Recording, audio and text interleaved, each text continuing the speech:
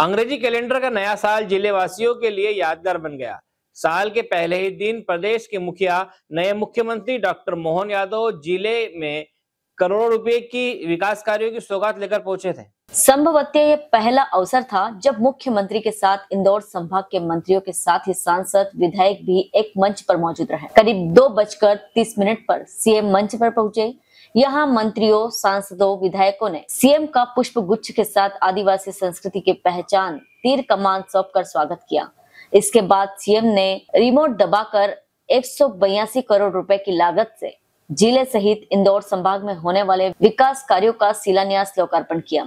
CM ने सभा के दौरान जनता को आश्वस्त किया कि पूर्व मुख्यमंत्री शिवराज सिंह चौहान द्वारा चलाई गई योजनाएँ आगे भी चलती रहेगी। विकास कार्यों को नई सरकार गति देने के लिए संकल्पित है। सीएम ने यहाँ भाजपा को विधानसभा में प्रचंड बहुमत देने पर जनता का आभार भी जताया। सीएम के पहुँचने पर उत्साही भाजपा कार्यकर्ताओं आम जन व्यापारियों ने सीएम का ढोल, ताशो पुष्प वर्षा एवं आतिशबाजी कर स्वागत किया। हेलीपैड से सभा स्थल के करीब डेढ़ किलोमीटर के मार्ग पर 40 स्वागत मंच लगाए गए थे, जहाँ से लोगों ने पुष्प वर्षा कर सीएम का अभिनंदन किया। सीएम जन आभार यात्रा करते हुए श्री नवग्रह मंदिर पहुँचे। यहाँ नवग्रह देवताओं के दर्शन कर पूजन अर्चन किया। इसके बाद सभा स्थल पर ही श्री नवग्रह मेले का भूमि पूजन किया। पंडित लोकेश जागीरदार ने मंत्रोच्चार से भूमि पूजन संपन्न कराया। Bureau report, Khargone. सभी से शक्ति के साथ निपटने में सक्षम है। हम सब मिलकर के ऐसे विकास के कई कई कामों को लेकर और आपके बीच में तो बाबा महाकाल के महालोक के बाद अब ये सारा निर्माण इस बात के लालायत है कि हमारा क्या खंडवा, क्या खरगोन, क्या बुरहानपुर, क्या बड़वानी, हमारे सारे के सारे ज़िले सब विकास के दरकार में धार्मिक पर्यटन को बढ़ाने के लिए भी आगे बढ़ेंगे। मैं आपको आश्वस्त करता हूँ, निश्चित रूप से ये सारे जिलों में विकास के लिए इस दिशा में भी ठोस कदम किया जाएगा। जो यहाँ का जनप्रतिनिधि कहेंगे वो सारी की सारी मांगे मान ली जाएगी और हम अपने यहाँ रोज़गार के नए अवसर खोलेंगे।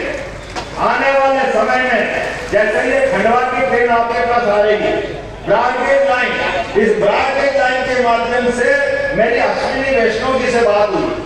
हमने कहा कि ये जो भविष्य में रेलवे ट्रैक उत्तर से दक्षिण को जोड़ने वाला, वर्तमान में अगर खंडवा तक दक्षिण की ट्रेनें आती है, फिर वो इटारसी जाती है, फिर भोपाल जाती है, फिर ग्वालियर जाती है और बाद में दिल्ली पहुँचती है। लगभग ढाई तीन सौ किलोमीटर का चक्कर बच सकता है अगर वो ट्रेन सीधी खंडवा से हमारे इस परंपरागत इंदौर के मार्ग में निकाल दो लगभग लंबा समय बचेगा। और हमने कहा कि अभी आपने सिंगल ट्रेक बनाया ये डबल ट्रेक बनाने की मांग उनके सामने रखिए और बहुत जल्दी विचार करके वो उस योजना पे काम करेंगे, जिसके माध्यम से एक नया रेल का ट्रेक आपसे जुड़ेगा, जिसके माध्यम से बड़े पैमाने पर विकास की संभावना आएगी। हमारा अपना उज्जैन, इंदौर और एक बार जोरदार तालियाँ यशस्वी प्रधानमंत्री के लिए जिन्होंने नई शिक्षा नीति को लागू निकालने के लिए अठारह की शिक्षा नीति का आमूल चूल परिवर्तन कर दिया। अब हमारे यहाँ कॉलेज में जाओ, स्कूल में जाओ, और पढ़ने की नई शिक्षा नीति पूरी लागू हो जाएगी तो वो हमारे जीवन में उत्कर्ष देने वाली होगी। वो जीवन को बदलने वाली होगी। वो गया जमाना के कागज़ की डिग्री लेकर के हम बेरोजगारी की खोज बढ़ाते अब इसकी आवश्यकता नहीं रहने वाली। आज के जमाने में अब जो बच्चा पढ़ के क्षमता योग्यता के हिसाब से उसको उस दिशा में आगे बढ़ने का मौका मिलेगा। आज के अवसर पर आपकी जानकारी के लिए बता दूँ, आने वाले समय में हमारे प्रत्येक कॉलेज से, प्रत्येक स्कूल से बच्चों के लिए सर्वांगीण विकास के दरवाजे खोले जाएँगे। इसलिए सभी जिलों में एक एक कॉलेज जो सभी कोर्स लेके चलेगा एक्सीलेंस कॉलेज का निर्णय भी हमने पहली कैबिनेट में किया है। वो खरगोन सहित हर ज़िले में एक एक कॉलेज खोला जाएगा, जिसमें सारे के सारे कोर्स आपको मिलेंगे। हमारे बच्चे जिस कॉलेज में पढ़ने जाए, वो अपने स्वाभिमान के साथ जीवन जीना चाहिए कि नहीं जीना चाहिए? उनकी ज़िंदगी में उजाला आना चाहिए नहीं आना चाहिए? उनके जीवन में ये केवल कागज़ की डिग्री का महत्व हो, ये किसने सिखाया? ये सारी व्यवस्था बदलेगी। अरे वो कुछ नहीं तो अपनी खेती बाड़ी में करने वाला गाँव का बच्चा भी अगर पढ़ के जाए उसकी पढ़ाई उसके जीवन में काम आना चाहिए। लेकिन दुर्भाग्य के साथ ये छूट रहा था।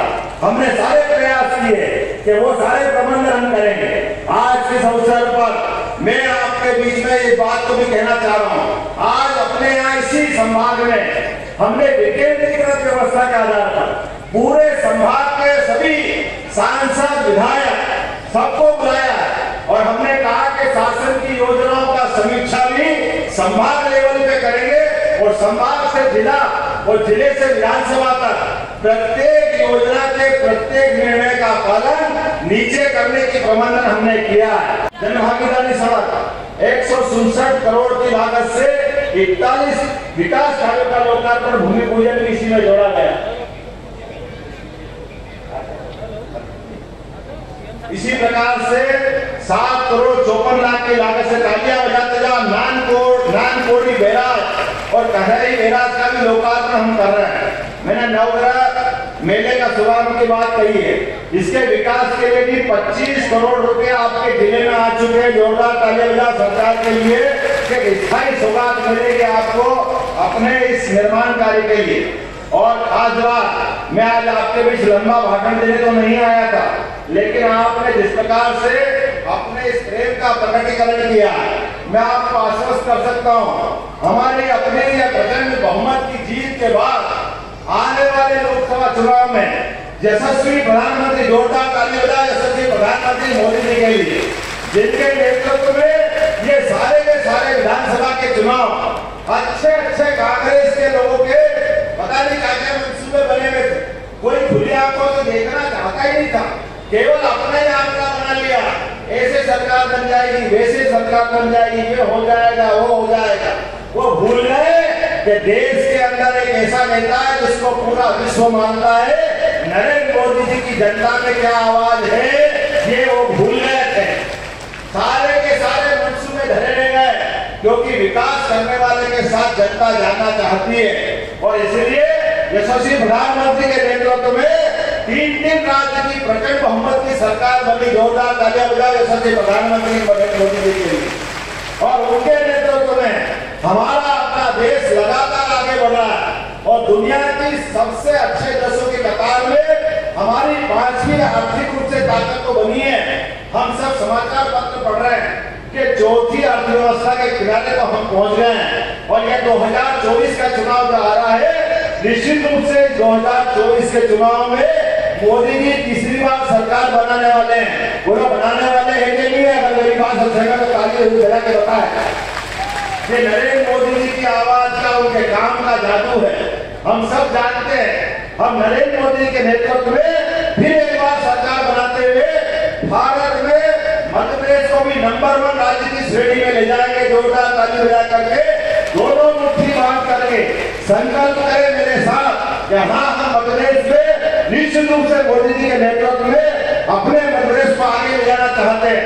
तो मंच भी खड़ा हो जाए और आप भी खड़े हो जाए, दोनों मुट्ठी ज़ोर से बांधे और हम सब संकल्प करें, जब तक मध्य प्रदेश को नंबर वन की स्थिति में ले जाएँगे, तब तक चैन की नींद ले लेंगे मेरे साथ सभी बोले ज़ोर से, भारत